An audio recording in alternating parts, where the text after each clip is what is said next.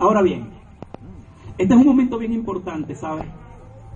Porque quiero comentarles y testificarles que Dios ha estado moviendo gente, Dios ha estado moviendo personas. Por ejemplo, hay un autobús, hay uno de los transportes que se activa, uno de los autobuses que se activa. Y alguien me dijo, pastor, yo voy a sembrar el pago de ese autobús. No voy a decir quién, como dice por ahí en la iglesia católica, se dice que el, pecado, pecado no el pecado, ¿verdad? O en la, en la iglesia cristiana diríamos, no sepa tu derecha, lo que hace tu izquierda. lo que hace tu izquierda. Pero yo sé que a esa persona que asumió ese compromiso, Dios le va a bendecir. Amén. Amén.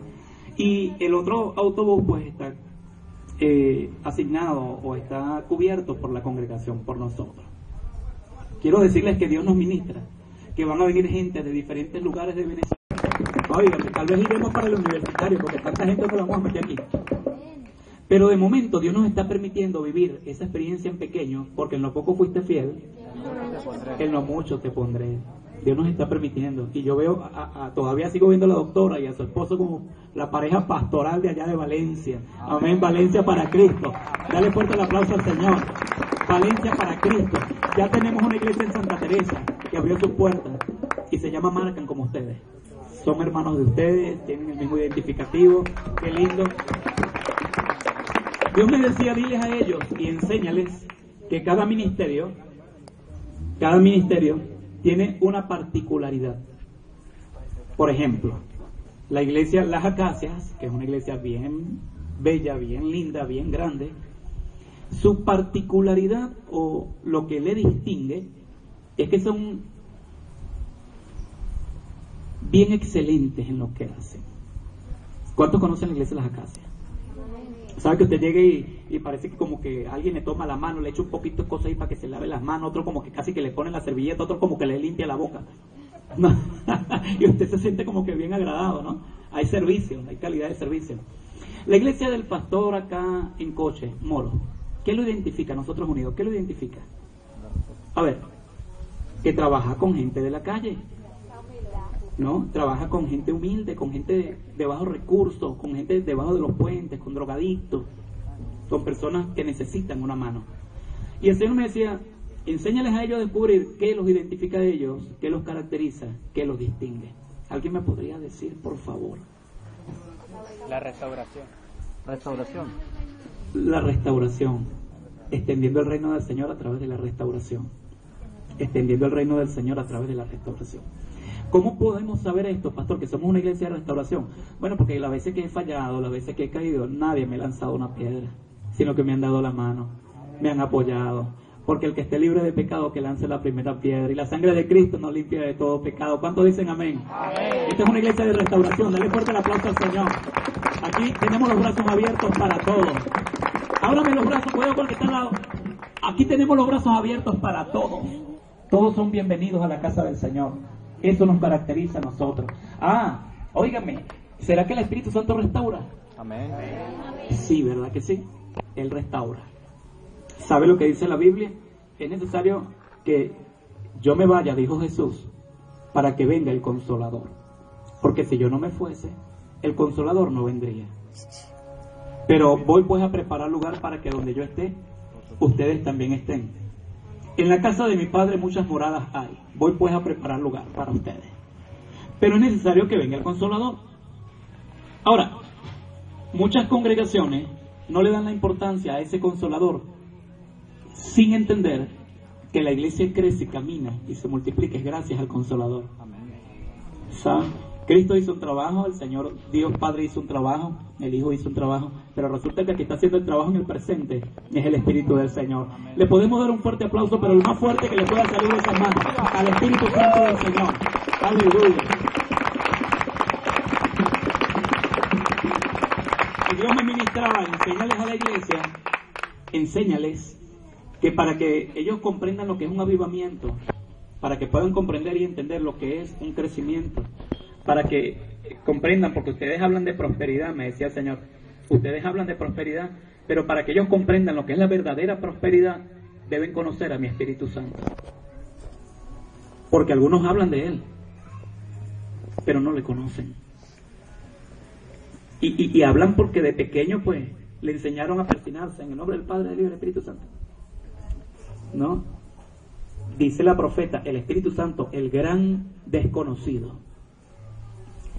Y sabe, cuando una iglesia descubre el poder del Espíritu Santo, la llenura del Espíritu Santo, el sello del Espíritu Santo, la unción del Espíritu Santo, esa iglesia es indetenible. Esa iglesia no la para nadie. Esa iglesia es una iglesia que prospera, que crece, que avanza en medio de cualquier adversidad, en medio de cualquier circunstancia. Y yo creo que marcan es una iglesia que conoce al Espíritu Santo del Señor. A su nombre sea la gloria. Óigame, y el Señor me decía, pero es necesario que comprendan que mi Espíritu Santo se contrista el día viernes aquí en la vigilia tuvimos una, los que estuvieron aquí en la vigilia, levánteme la mano, ¿cuántos estuvieron en la vigilia? Tuvimos una manifestación preciosa del Espíritu del Señor. El Señor nos visitó de una forma bien, bien, bien linda, bien especial, pero lo primero que el Señor dijo fue, ¿qué se recuerda? A ver, ¿quién se recuerda? Antes de que comenzara todo eso, ¿con qué comenzó el Señor hablándonos a nosotros? Que había algo que contristaba al Espíritu del Señor. ¿Quién se recuerda? Ah, Ah, hay algo que contrista al Espíritu Santo y es que le pongan límite. Que le pongan límite. Dígale a alguien, el tiempo es de Dios. Ah, óigame. ¿Qué les parece si comenzamos a practicar algo a partir de hoy? De hoy en adelante, pues. ¿Qué les parece si nos comprometemos a comenzar los servicios a las nueve y media de la mañana? Amén. Aló. ¿Me le puede decir a alguien el tiempo del Señor? No se preocupe, iglesia, que la espada tiene doble filo. se los garantizo. la espada tiene doble filo. ¿Sabe lo que eso significa? Corta para allá y corta para acá. Así que tranquilo. Esto es un compromiso que vamos a asumir todos. Amén. Le decía yo a la profeta. Porque el día domingo es del Señor. Desde que usted abre los ojos en la mañanita, muy temprano, usted abre sus ojitos en la cama y dígase el día domingo, este es el día del Señor. ¿Hasta qué hora? El tiempo es del tiempo del Señor. Pero si el día domingo es del Señor, eh, históricamente hablando, el día que Dios descansó, cuando hizo la humanidad, fue el día sábado, no el domingo. ¿No? Vamos, vamos a conocer palabras, vamos a hablar de, de hermenéutica. Hermenéutica es la correcta interpretación de las Sagradas Escrituras, la correcta. Eso es hermenéutica. Cuando Dios hace al, hombre la creación y todo lo que vemos, descansa un día. Descansó el día sábado.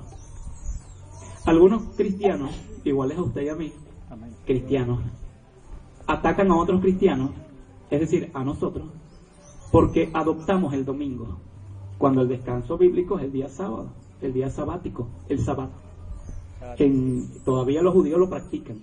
Y el día sábado ellos no hacen nada porque están bajo la ley y la ley les impide hacer cosas el día sábado. Pero ¿por qué un grupo de cristianos como nosotros, incluyendo inclusive los católicos, adoptamos el día domingo? A ver, ¿quién me levanta la mano y me da una explicación? Sí, a ver, ¿cuál? Eh, doctora. Pastora. Pastora, Pastora Carmen. Démele fuerte el aplauso a la Pastora Carmen. Amén, porque esa palabra no salió por casualidad. Por algo salió cuando hablamos del Antiguo Testamento, cuando se habló de la ley, o sea, nosotros estábamos bajo la ley. En el Antiguo Testamento, cuando se hizo el libro de Levítico, cuando se hicieron los Pentateucos, donde hablaba de la ley al pueblo de Israel. Una vez que nace Cristo, el periodo de la ley se es abolido y estamos en el periodo de la gracia. Por lo tanto, nosotros como estamos bajo la gracia, ya no nos estamos adoptando a esa ley. Y el mismo Cristo lo dice, ¿acaso que si ustedes tienen dos huellas ahí, o sea, tienen dos huellas o está alguien enfermo, pone varios ejemplos, no lo van a sanar un día, un día sábado, no van a darle comida un día sábado. O sea, eso es lo que Dios nos pone que nosotros estamos ahora bajo el periodo de la gracia, por eso lo adoramos todos los días, o sea, no tenemos un día específico, pero el día domingo, para nosotros y para nuestra cultura, el día domingo es el día de descanso. Es muy difícil colocar un, quizás un servicio un sábado en la mañana porque muchos de nosotros trabajamos los sábados en la mañana. Y nuestra, y nuestra cultura occidental puede adoptar un día domingo fácilmente, pero para Dios no hay día, porque estamos bajo el periodo de la gracia. por eso es. que a nosotros no nos importa si es sábado o domingo. Doctora, ¿qué estadio tenemos por allá por Valencia? ¿Cómo se llama? La Monumental. ¿Ese es de Maracay? No, la el, Estadio Monumental. No, la Plaza Monumental. La Plaza Monumental. Que también se hacen, ahí varias veces se hace este eventos Eventos. ¿Sabes? Me vi ahorita observándote en el estadio, en la Plaza Monumental de Toros de Valencia, hablando la palabra del Señor. Amén. Óigame, le pregunto, si Cristo muere un día viernes y resucitó el tercer día, ¿a qué día entonces se refiere que resucitó? a su nombre.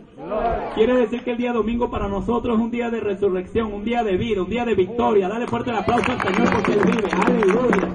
Por eso, para nosotros, el día de victoria es el día en que Cristo resucita, un día domingo. Y por eso nos reunimos los días domingos. ¿Cuántos dicen amén? amén? Ahora bien, si el domingo tiene 24 horas, como todos los días tienen 24 horas, todavía en el sueño suyo del día que comienza el domingo, que comienza cuando? 12 de la noche. Del día sábado. Del día sábado a las 12 de la noche. A esa hora ya comienza el día domingo.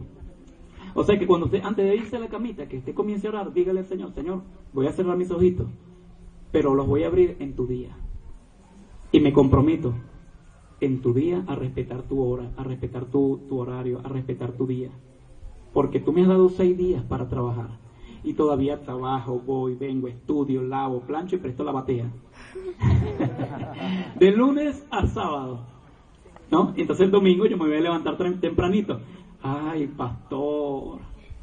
Es que no pasan los carros, pastor. Y ya le ponemos el carro y siguen llegando tarde. Bendito. a su nombre.